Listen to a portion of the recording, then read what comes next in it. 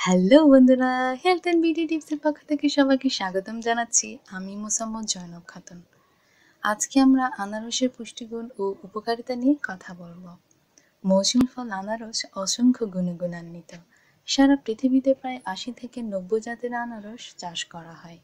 বাংলাদেশে হানি queen, giant Q বা কালেঙ্গা ও ঘোড়াশাল এই তিন জাতের আনারস চাষ করা হয়।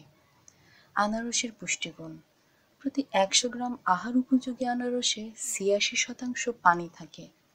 প্রোটিন শূন্য দশমিক নয় গ্রাম। শ্বেতসার ছয় দশমিক দুই গ্রাম।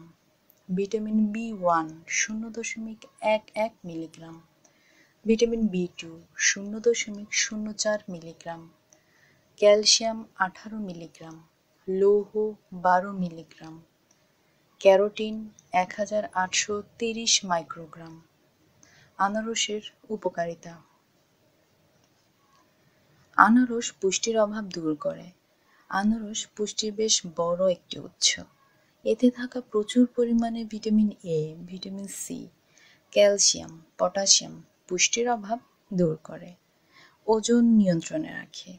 আনারসে প্রচুর পরিমাণে ফাইবার ও কম ফ্যাট রয়েছে, যা ওজন নিয়ন্ত্রণে রাখতে সহায়তা করে। হাড় গঠনে সহায়তা করে। আনারসে প্রচুর পরিমাণে ক্যালসিয়াম ও ম্যাঙ্গানিজ থাকে, যা হাড় গঠনে সহায়ক ভূমিকা পালন করে, হজম শক্তি বাড়ায়। আনারসে থাকা ব্রোমেলিন, যা আমাদের হজম শক্তিকে উন্নত করতে সাহায্য করে।